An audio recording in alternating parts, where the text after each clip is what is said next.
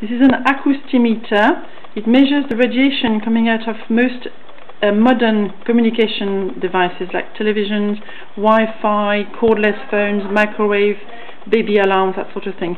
We're going to test my microwave. So you see it's green. When I put it on, look, we are outside and see outside. This is peak and this is average. Now we're going to go move away. How far do you think your microwave emits radiation? We're two meters away. We're now three meters away. Look, look, look, look! I'm sitting at my kitchen table four meters away from my microwave and look how bad it is. So you want to stay well clear